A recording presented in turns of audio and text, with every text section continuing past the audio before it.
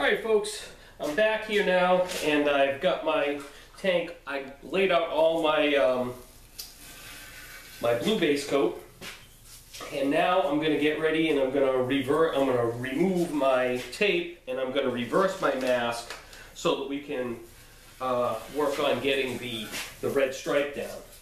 So first thing I'm going to do is take off that little piece of tape that I told you about. Second thing I'm going to do is I'm going to take my, my first row of tape off where my red's going to go. So what I did was I took my tape off that I had over the top here. Now I've taken my first row of fine line tape off. So this is my blue base coat. This is the white that's under there, and this is where it's masked off. So the next thing I'm going to do is I'm going to tape off on my blue here on both sides. And the only thing I'm going to have exposed are these two white stripes. Those are going to be my red stripes. So I'm going to take the uh, tape off the, the two fenders. I'm going to reverse my mask, and then I'll come on, I'll show you what we got, and I'll put my red on. Okay, folks, so I'm back. I reversed my mask. Now the only thing that's exposed now is my two stripes, which I'm going to uh, spray white. I've got my uh, red, spray, spray white. It is white. I'm going to spray it red. Got my red in the gun. Uh, got everything taped off. I'll bring the camera over so I can show you what's what's going on here. Here it is. This is what you're seeing. Uh, inside of here, inside of this area, is where my blue and my stars are. This is white from the original, and this is the strip that I removed. So one of the things you really want to make sure is that your tape is sealed down really good on the edges so you don't get any blow through of your red onto your white or onto the blue. I mean, we can touch it up and it, it probably will end up happening somewhere, but it's best if you can kind of really get a good idea of that everything's sealed down well. I'm going to uh, shut off the camera. I got my gun set. I'm going to spray this red. Same deal two or three coats, just enough to get it covered. I'm using my little touch-up gun. I'm going to use low air pressure, so I'm really not blowing my paint on here real hard and possibly blowing it under my edges. And then once that flashes, then we can take the stuff off and have a look at it, and you should be able to see the design like you do in the helmet.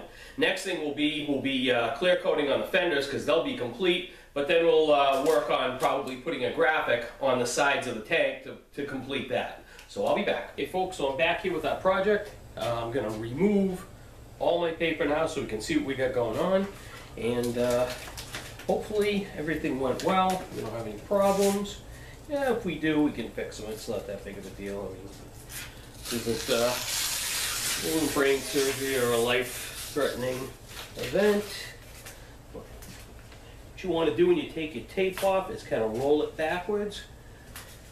And that way there, if there's any edges or whatever, it'll just kind of peel it off itself. What I like to do is I like to take all my paper off first, and then I'll take my fine line tape and my stars off uh, last. That way there I can just focus on what it is that I'm doing, and I don't get caught up in having too much going on in peeling something off that I don't want peeled off. So so there we go there.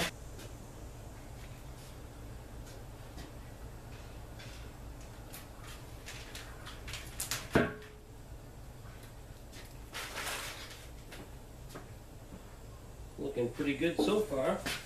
Got my uh, my fine line off on that one side. We'll work on getting it off over here. Hopefully, uh, hopefully all goes well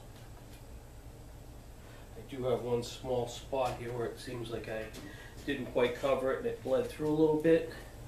Got a little tiny peel over here, but this is stuff that we can just touch up with the airbrush.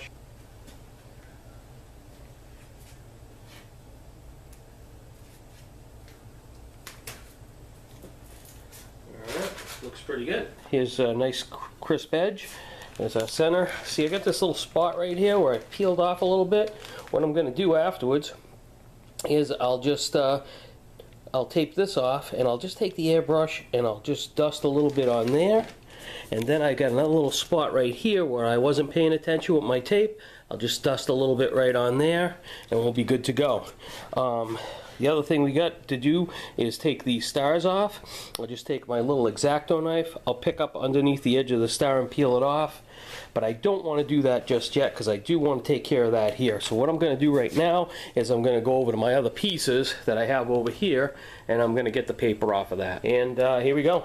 So there's our front kind of brought it down into here and ended it there. I thought that would be a nice clean look. I got a slight bleed through there. I'll just dust that in with the airbrush.